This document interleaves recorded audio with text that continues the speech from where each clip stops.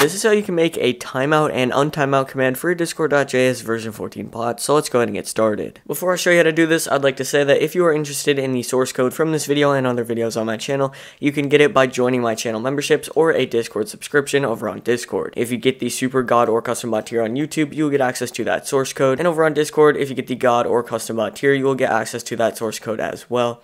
And of course, on either platform, if you get the Custom Bot tier, me and my team will code you a personalized custom Discord bot. If any of this seems interesting to you, go ahead and click the links in the description below to get started with this, and let's go ahead and get started with the video. Start off, we're going to go to moderation, and we can go ahead and create timeout.js. And here we can do const, and we're going to get slash command builder, we can get embed builder, and we can get permissions bit field. Then we can do equals require, and we're going to get discord.js. We can then do module.exports equals, we can open this up, data, we'll do new, slash command builder. We're going to go ahead and set a name, and this is going to be timeout. Then we can set a description, and for our description, we can say times out a server member. And then we can add a user option and this will be option arrow function option dot set name and this can be user and then we can do. dot set description. And this is going to be the user you want to time out. And we can make this required so set required and that will be true. We can add a string option. So we can do option arrow function option dot set name and this is going to be duration. And then we can do. dot set required and it's going to be true.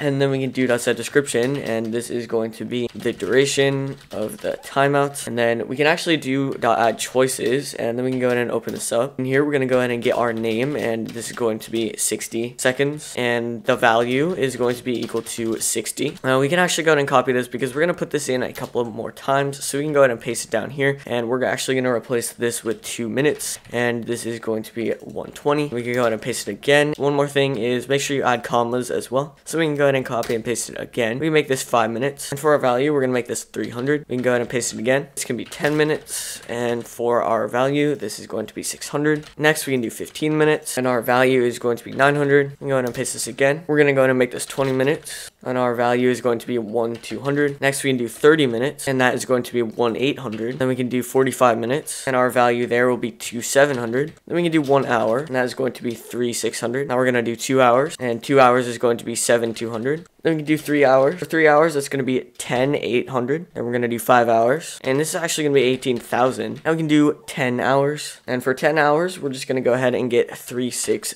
thousand. Now we're gonna go ahead and get one day, and one day is going to be eight six four hundred. Now we're gonna get two days, and that is going to be 172 800 now we're going to get three days. That will be 259 200 we can get five days. And that will be 432 000 and then finally we can go ahead and get one week. And then our one week is going to be 604 800 now keep in mind these are all of the durations that you could use. So you can add more or less than this. You can add pretty much as many as you would like. Just keep in mind the value is the seconds. So for example 900 seconds is 15 minutes. Now we can come down here and and add string option again. This is going to be option, arrow function, option dot set name, and this is going to be reason, and then we can go ahead and set a description, and this is going to be the reason for timing out the user. Then we can add a comma, we're going to do async executes, we can do interaction, and then we can go ahead and open this up. And here we're going to do const time user equals interaction dot options get user, and that is going to be user. Then we can do const time member equals wait interaction dot guild dot members dot fetch, and we're going to get time user dot id. Now we can do const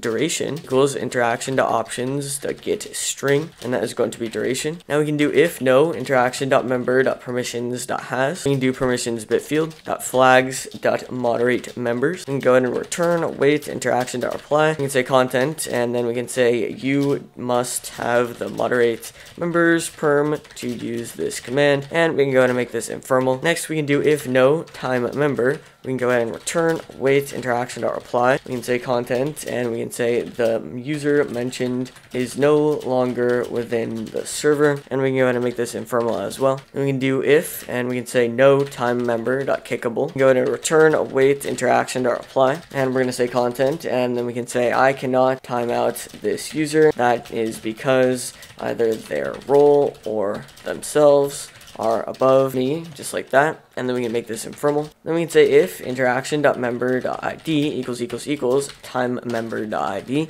can go and return await interaction.reply. We're going to say content, and we can say you cannot timeout yourself. And we can make this informal. We can say if time member.permissions has, and we're going to do permissions bit field.flags.administrator. We can go and return await interaction.reply. We can say content, and we can say you cannot timeout a person with uh, admin permission, and we can make this ephemeral as well. Now that we're done with our logical statements, we can actually go ahead and time this member out. So we can do it with time member dot timeouts, and we're gonna get duration multiplied by, and we can get 1,000 and then we can do comma and we're going to pass in our reason. Now we can make both of our embeds. So we can do const embed equals new embed builder and we can go ahead and set a color and this is going to be blue. We can go ahead and set a description and we can do white check mark. And then we can go ahead and say time user. That tag has been and then we can bold this timed out.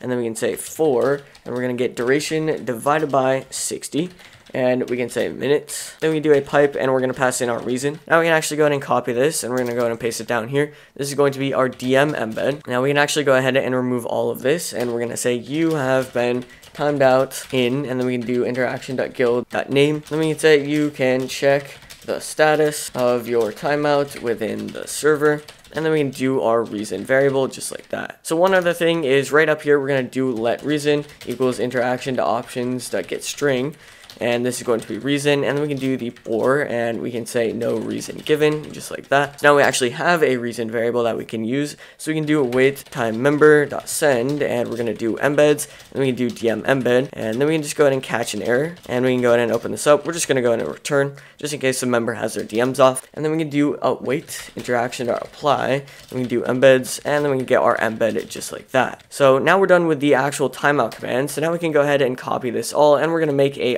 untimeout.js command as well. So you can go back over to moderation and we're going to do untimeout.js. In here we can go ahead and paste everything. So right here we're actually going to go ahead and remove our duration string to start off. Now we can go ahead and change this to untimeout and we can say untimesout and then we can say the user you would like to untimeout and then we can say untiming out a user here as well for our reason. Now we're actually going to go ahead and delete our duration. Now right here we can say I cannot untime out this user and then you can say you cannot untime out yourself and then you can say you cannot untime out a person person with the admin permission. So now in here, instead of passing in all of this information, we can just pass in null and then we can pass in reason. And then in here, we're going to delete all of this and we can say time user dot tag and then we can say s timeout has been removed and then we can do our reason and then in here we're going to do a similar thing we can say you have been untimed out in and we can say interaction.guild.name and then we can just go ahead and pass in our reason as well. And that's actually all we have to do for this command and the timeout.js command, so we can go ahead and restart the bot and test this out. Alright, so over in our Discord server, we can go ahead and test this out by doing slash timeouts,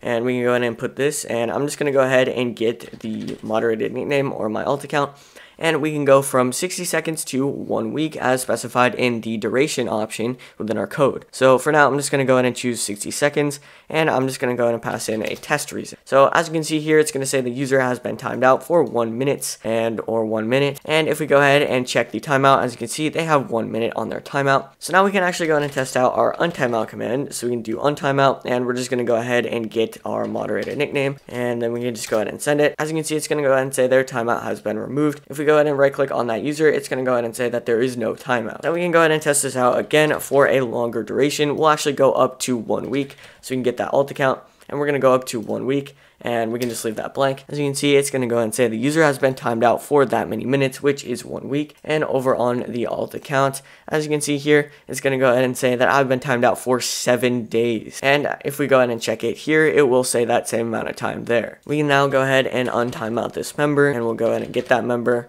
and we can just go ahead and send it. And as you can see, the timeout is now gone. So that's how you can make a timeout and untimeout command for Discord.js version 14 bot. If this worked for you, feel free to leave a like and subscribe. If this didn't and you need any help, go ahead and join the server in the description below. And it might as well join anyways because it's a pretty good coding community.